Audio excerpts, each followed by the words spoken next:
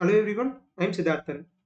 Since I started working on my machine learning course, I received a lot of requests in order to do the same for a deep learning course. And I think that it's finally time to do it. So in this video, I'll just give you a quick overlook on what are all the topics that we will be discussing in this deep learning course and what are all the modules that this particular course will contain. And I'll also tell you a way in which you can tell me what are all the topics that you wish to learn. Okay, so let's get started. So these are all the 13 modules that we have in our deep learning course. In the first module, let's do some revision on the machine learning concepts that we have uh, you know discussed so far. So it's best if you have learned you know uh, all the topics that I've explained in machine learning course so that you know you would understand this course much better. So in this first module, I'll probably make some videos like you know uh, a couple of hour long videos on discussing some of the important topics that we have uh, did in this machine learning course.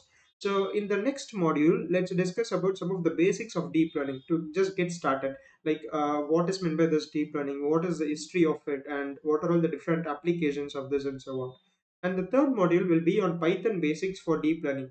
And for this what i did for machine learning course is enough but i'll also try to add like few more uh, topics like um, you know working on classes in python and how to create your custom modules and so on. So that might be very useful for you. And the fourth module will be predominantly on mathematics required for deep learning where we will discuss about vectors matrices and tensors. So if time permits uh, i'll also try to add you know calculus concepts to this particular module but let's see and fifth module will be perceptrons so perceptrons are nothing but the most basic form of neural network. Okay? So there let's try to understand what is the idea behind this perceptron and how this perceptron works and so on.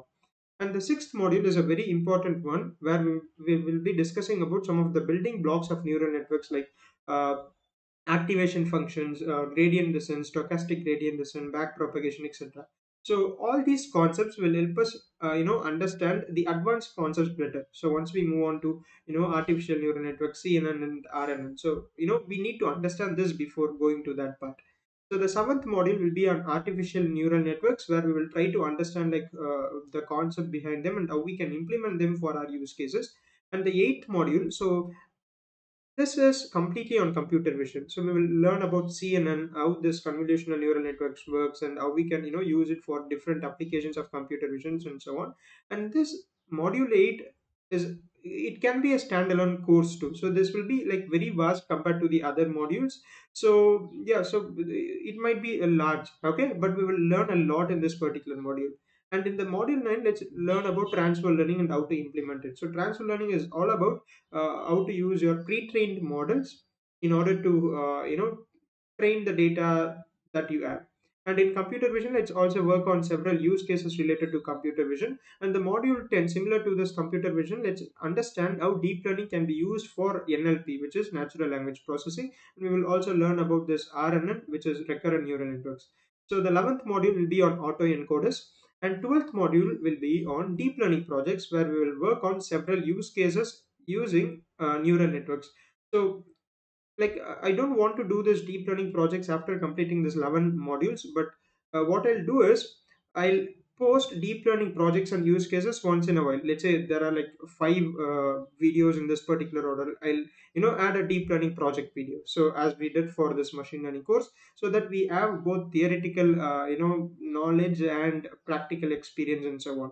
So there will be like several deep learning projects uh, you know we can learn it and finally, let's try to understand how we can deploy these neural networks. For machine learning, we have seen how we can create web pages using Streamlit and how we can deploy our models models using you know APIs and so on. So let's do the same for neural networks too.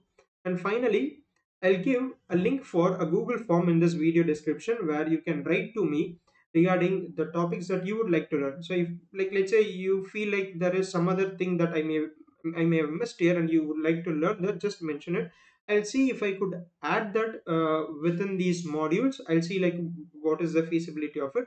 Okay, so just you can find this uh, link in the video description. Okay, so that's it from my side, and I hope that you are eager to learn this deep learning course. Yep, see you. Bye.